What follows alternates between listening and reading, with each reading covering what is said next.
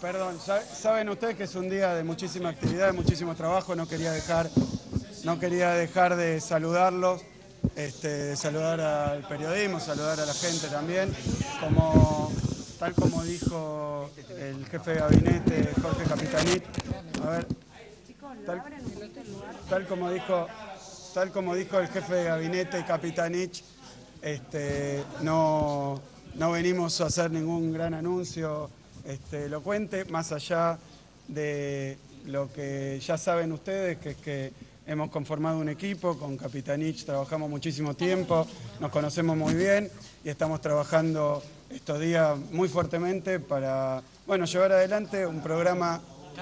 un programa de metas que tenemos de gobierno con los objetivos clarísimos que nos ha instruido la Presidenta de la Nación, cuyos ejes son obviamente el empleo, la producción, la distribución del ingreso, la mejora de las condiciones de vida de los argentinos, así que de esa manera, de esa manera, este, de esa manera eh, creo que vamos a seguir trabajando, que tenemos muchísimos instrumentos, muchísimas posibilidades, que la economía tiene que seguir, como se ha mostrado este, hace muy poquito, con tasas de desempleo que eran impensables hace, en las últimas décadas que son 6,8% de desempleo hemos anunciado, así que vamos a seguir trabajando intensamente, quería saludarlos. ¿Cuál su preocupación primero en todo esto? No, me parece que preocupaciones, por supuesto, las preocupaciones de la gente, ¿cómo no van a ser nuestras preocupaciones? Ahora bien, si las preocupaciones no son las de la gente, sino una agenda de temas que pretenden que resolvamos, que no son los problemas de la gente, este, no vamos a trabajar en eso porque no tiene ningún sentido. Entonces, en este si puedo terminar de hablar antes de que sigas gritando, siempre lo mismo, por favor. Entonces, la, entonces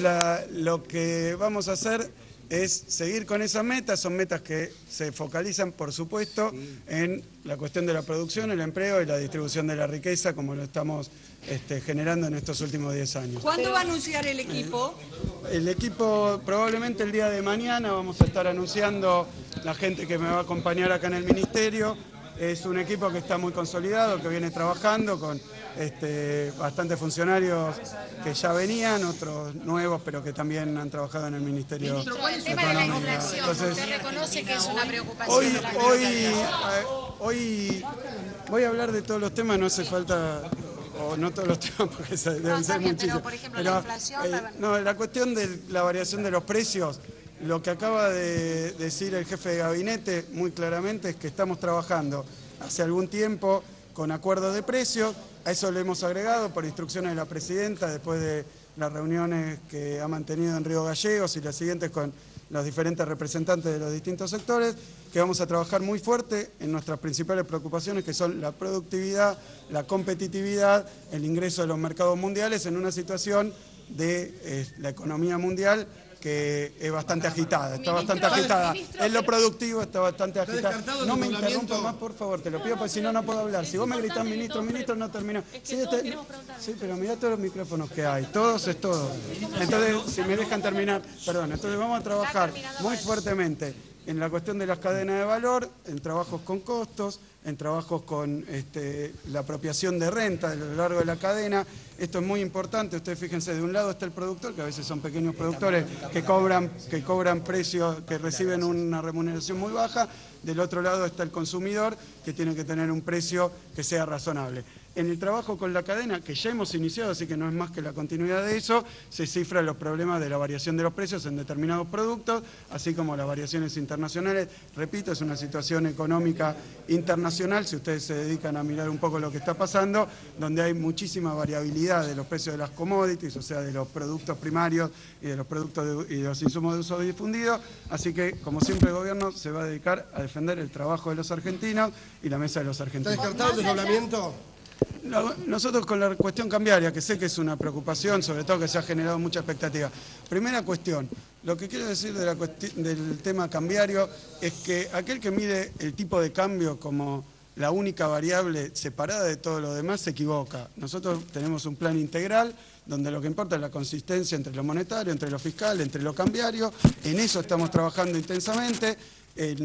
Hay muchísimos instrumentos para la cuestión cambiaria, pero hay objetivos con respecto a la cuestión cambiaria, que es garantizar, por un lado, la previsibilidad, darle tranquilidad a la gente, que no se va a hacer en este gobierno nada que perjudique a los, trabajadores, a los que tienen menores ingresos desde ya y tampoco a los empresarios porque este es un modelo que busca que las empresas tengan buenos resultados y que por eso hemos tenido las tasas de inversión que hemos tenido, las más grandes de la historia de las últimas décadas también porque eso implica confianza en el modelo, confianza en la producción y tasa de crecimiento como la que hemos llevado. ¿No va a haber más restricciones en el dólar turista? Se habló en algún momento de que por ahí podía subir ese 20%. Miren, en este momento nosotros tenemos un manejo de la cuestión cambiaria que aporta a lo siguiente, para que el dólar tenga... Eh, y fuera, yo me acuerdo que cuando hicimos algunas presentaciones mostrábamos que en periodos de electorales o donde hay campañas muy intensas para sembrar incertidumbre,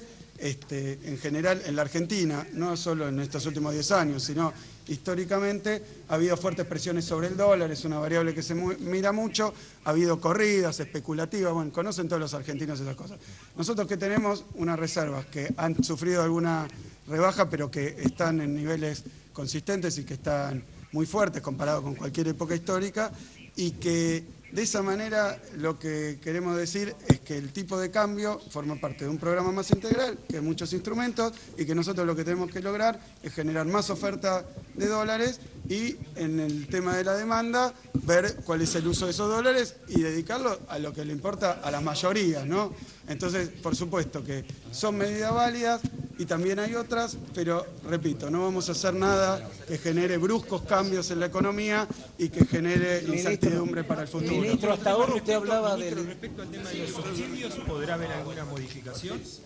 Bueno, eh, el gobierno, en primer lugar, la palabra subsidios esconde muchísimas cosas, este, porque ustedes saben que nosotros eh,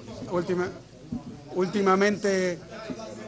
habíamos hecho algunas readecuaciones en, las tarifas de la luz, de la, electricidad y del gas, algunas readecuaciones que tenían que ver con, diferentes cuestiones. Con diferentes cuestiones. La primera es que se, ve, como decía Capitanich hoy, que hay una diferencia muy grande en diferentes regiones del país, en distintas regiones del país. Este, le preguntaron a él y como ustedes saben, hay provincias donde todavía ni siquiera hay gas de red. El gobierno ha avanzado muchísimo en llevarle gas de red a todo el país y sigue trabajando el ministro este, debido en los planes para extender la red de gas este, a todos los argentinos. Pero los que no tienen gas pagan una garrafa que muchas veces está más alta de lo que sale, mucho más alta de lo que sale el gas, este, el gas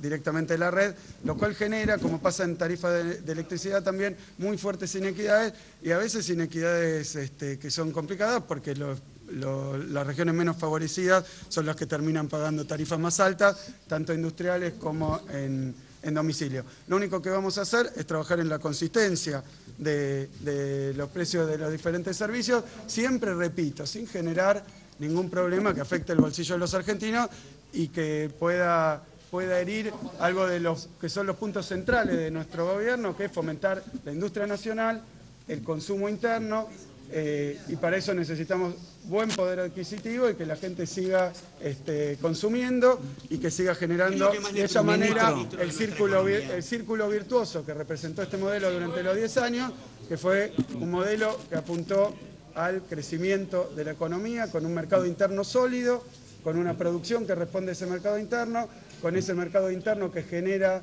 este, oportunidades para los empresarios de rentabilidad y por tanto genera inversión, genera más producción y una vuelta más de mayor consumo, mayor bienestar para los argentinos. Ministro, el bueno, ministro, para... Esta va la palabra entonces del flamante ministro de Economía, Axel Kisilov, en su primera jornada, en su primera mañana de trabajo, brindando estas palabras ante los periodistas en el Ministerio de Economía. Por supuesto, a partir de las 13, toda la información en Visión 7. Los esperamos.